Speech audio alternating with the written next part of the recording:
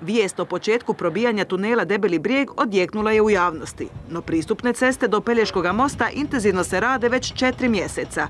Tunel dug gotovo 2,5 km na drugoj je dionici trase. Dionica je ukupno duga 12,4 km, od čega 10,5 km radove izvodi Štrabak, e, konkretno i na ovome tunelu, a 2 km će biti izvedena od strane e, izvođača koji radi na pristupnim cestama na mostu.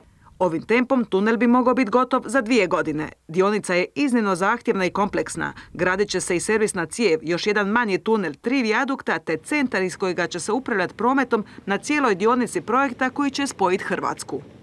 Ovo je jedan od čak četiri tunela koliko će ih se izgraditi na Pelješcu u sklopu projekta cestovnog povezivanja Južne Dalmacije. Ukupna dolina trase je 32 km od mjesta Duboka pa do mjesta Zaton Doli i na taj način premostit će se Neomski koridor. Radi se i na Stonskoj obilaznici. Grčki Avaks, čisti teren. Na ovom ugovoru imamo dosta zakljenih objekata, dva tunela, svaki je po 1200 metara dug i most kod Stona, to jest između, između Broca i Stona je jedan most, dužine skoro 500 metara. Na jugu svi zadovoljni što Pelješki most napreduje.